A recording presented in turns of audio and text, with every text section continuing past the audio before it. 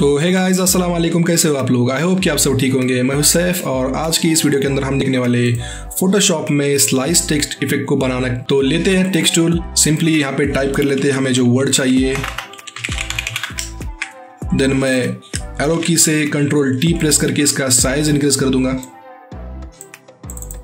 Background को select करके मैं यहाँ से सिंपली सेंटर अलाइन कर लेता हूँ। जूम करके आपको ये इफ़ेक्ट बनाना बताऊँगा।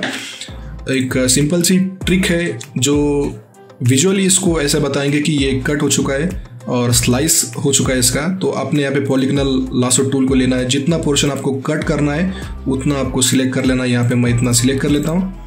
देन आपको इस वाले लेयर को कन्वर्ट टू स्मार्ट ऑब्जेक्ट में कन्वर्ट करना है। और यहाँ पे सिंपली आपको ऑल्ट प्रेस करके मास्क वाले ऑप्शन पे क्लिक करना है। तो ये ऊपर वाला पोर्शन जो है मास्क हो गया है। देन आपको फिर से कंट्रोल जे प्रेस करके इसी लेयर को आप डुप्लीकेट करना है। फिर से आपको मास्क वाले ऑप्शन पे क्लिक करना है और कंट्रोल आई प्रेस आई करके ऊपर वाला जो पोर्शन है, वो फिर से लेकर आना है। अब आपके पास दो स्लाइस है, जैसे कि आप देख रहे हैं।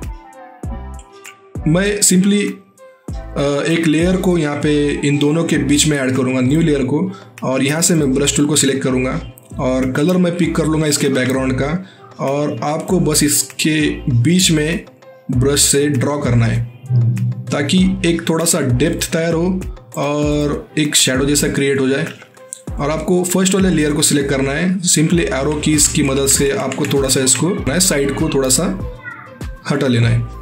सिंपली मैं यहाँ से एक लाइन कॉपी कर लेता हूँ। अगेन मैं यहाँ पे टेक्स्ट लेयर को सिलेक्ट कर लेके वो लाइन को पेस्ट कर देता हूँ। गोथम का मैं यहाँ पे फिर से एक फॉन्ट लूँगा गोथम नॉर्मल और इसका साइज़ मैं रख दूँगा 8 पिक्सल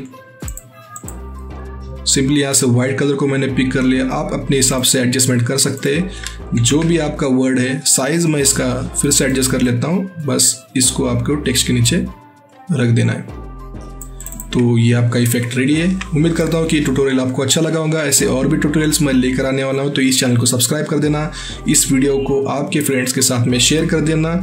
और हो सके तो मुझे इंस्टाग्राम के ऊपर फॉलो कर देना। वहाँ पे आप डीएम कर सकते हैं। आप अपने जो भी क्वेश्चन है कमेंट बॉक्स के अंदर ड्रॉप कर सकते हैं। मिलते हैं हमारे नेक्स्ट वीडियो के अंदर। तब तक के लिए टेक केयर